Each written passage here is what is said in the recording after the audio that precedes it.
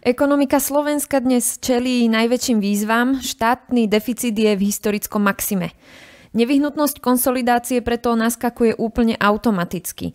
Avšak tiež platí, že nie je konsolidácia ako konsolidácia. Ja by som bol preto rád, keby sme sa bavili o tom navrátení toho schodku do normálu, pretože konsolidácia aj v angličtine používaný termín austerity sa používa špecificky na znižovanie výdavkov. Analytik Radovan Ďurana v dnešnom rozhovore o tom, ako sa vysporiadať s deficitom a nevystaviť budúce generácie extrémnym dlhom. Vítajte pri počúvaní Ines na dnes. Moje meno je Ina Sečíková a toto ekonomický podcast, ktorý dnes potrebujete počuť. Počúvate podcast. Počúvate podcast Ines na dnes. Ekonomika celého sveta už viac ako rok čelí kríze, ktorú tento raz vyvolal externý činiteľ COVID.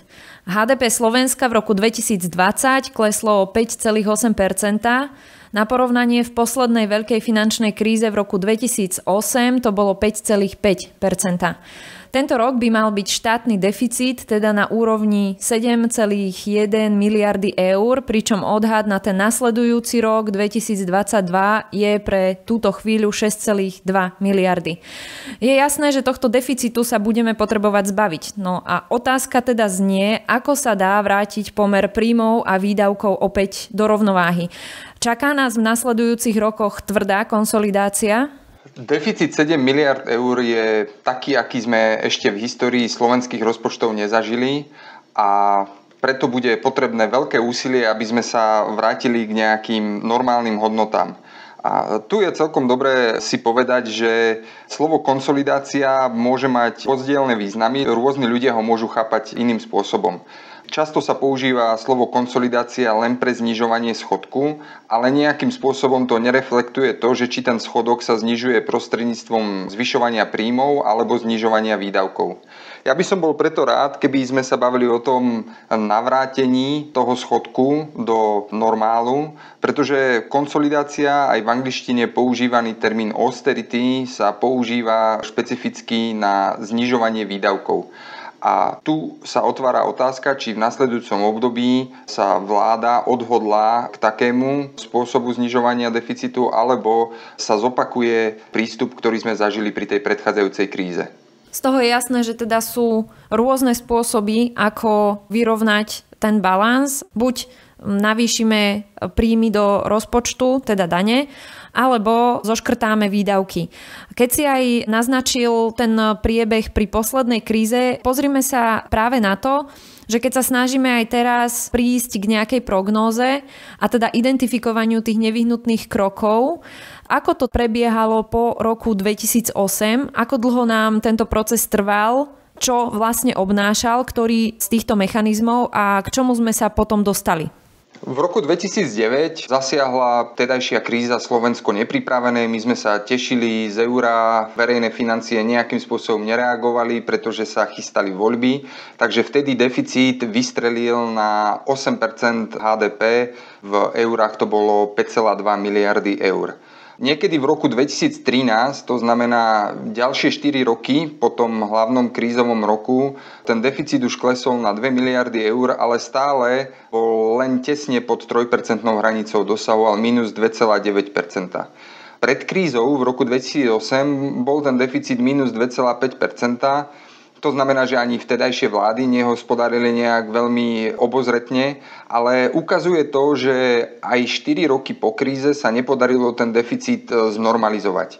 To do značnej miery bolo spôsobené aj pomalým ekonomickým rastom, respektíve pomalým zamestnávaním ľudí. V roku 2013 nám vlastne miera nezamestnanosti kulminovala.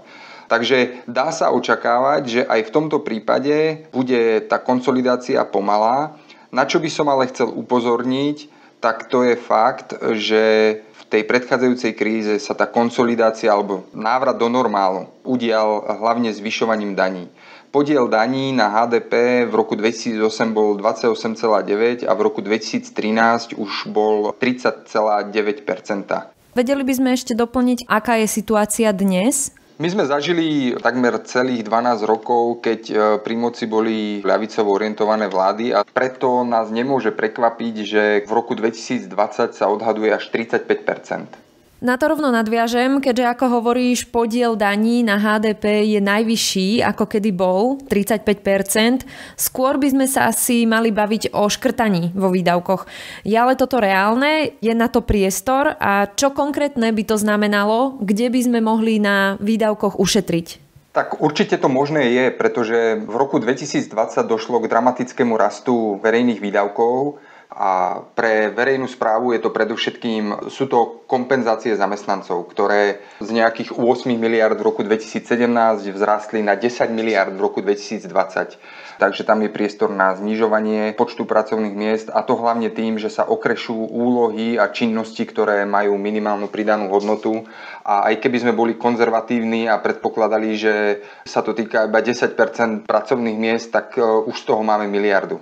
Druhým veľkým zdrojom nárastu bola tzv. medzispotreba, ktorú je trošku ťažké rozklúčovať, ale v roku 2020 nám poskočila o 2 miliardy. Tam je predovšetkým vládna spotreba, ale môžu tam byť aj nejaké napríklad financovanie eurofondov.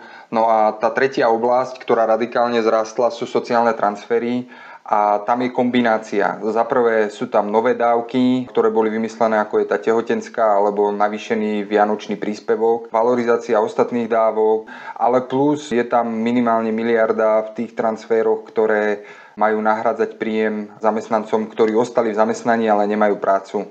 A potom sú to dotácie podnikateľov, ktorí nemajú príjem.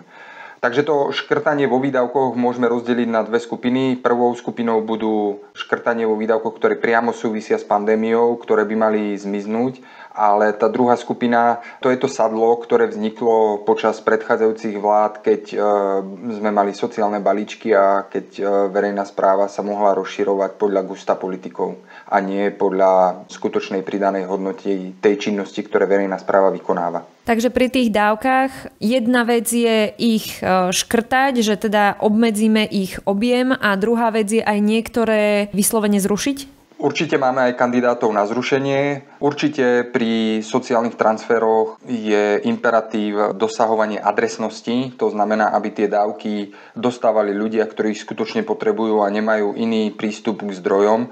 Ako príklad môžeme uviezť rodinné prídavky, ktoré dostávajú všetky rodiny bez ohľadu na ich príjem a asi netreba vysvetľovať, že poskytovať 23 eurovú dávku mesačne ľuďom, ktorí majú čistý príjem 2000 eur, nedáva žiadny sociálny alebo solidárny zmysel. To je jedna vec. A Druhá vec je, že my si predsa musíme uvedomiť, že sme v krízovom období, vzniká extrémny deficit a takéto správanie, keď sa tvárime ako, že nič sa nedeje, bude mať ďaleko siahle dôsledky aj pre budúce generácie. Presne k tomuto aj smerujem. Samozrejme všetky škrtania sú veľmi nepopulárne a s nácázkou je to taká politická samovražda.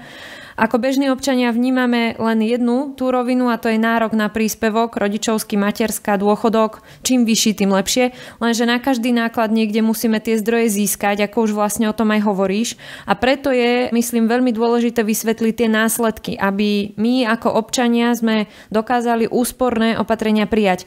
Zdôrazníme tu teraz práve to B, ako sa prejaví tento náklad v rovine, kde naň vziať. Dá sa to nepriamo prirovnať k rodinnému rozpočtu. Jednoducho v takejto situácii si nemôžete kúpiť lepší televízor a nemôžete chodiť do drahšej reštaurácie, pretože to znamená len jedno. Buď sa zadlžíte, alebo musíte zvýšiť svoje príjmy. To isté platí pre verejné financie.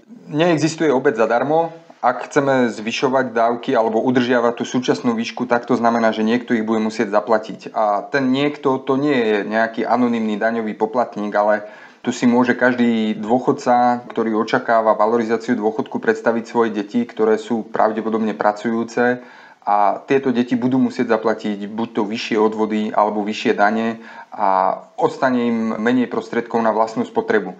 Môžem to potiahnuť do extrému a povedať, že môžeme predpokladať, že dôchodca má pracujúce deti a tieto deti si jednoducho nebudú môcť dovoliť 10-dňovú dovolenku v Chorvátsku, ale povedzme iba 9 alebo 8-dňovú dovolenku jednoducho preto, že neostane taká vysoká čistá mzda, lebo čas z nej pôjde do spoločnej pokladnice na toto zvyšovanie dávok. Uh-huh. Tu platí asi to klasické, že cestou k dobrému riešeniu, efektívnemu je najprv to pochopenie celej situácie a práve o to tu zjavne ide. Úplne na záver, máme podľa teba nádej, že sa takto, takýmto spôsobom aspoň v ako tak dohľadnej dobe dostaneme k vyrovnanému rozpočtu alebo aspoň veľmi blízko k nemu. Aký je tvoj odhad? Na Slovensku sme už mali 20 rokov vlády, ktoré si za svoj cieľ dávali vyrovnaný rozpočet, ale nikdy ho nedosiahli. Z pohľadu tejto štatistiky som ja sám skeptický. O to viac, že sa tak trošku zmenili nároky aj verejnosti, všetky tie sociálne balíčky upravili očakávania voličov a preto sa ťažko predáva tá finančná zodpovednosť a to efektívne hospodárenie s prostriedkami.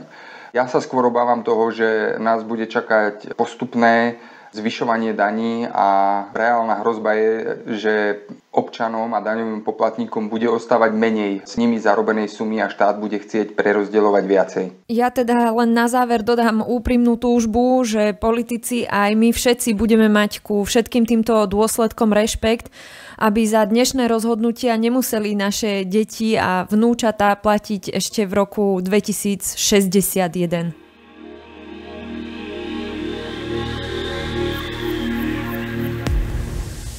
Ak vás zaujíma náš pohľad aj na ďalšie témy, prehľad tých najdôležitejších pre vás každý týždeň pripravujeme v newsletteri Týždeň z Ines. Počúvali ste podcast Ines na dnes. Všetky ďalšie diely nájdete v podcastových aplikáciách a na YouTube kanáli Ines.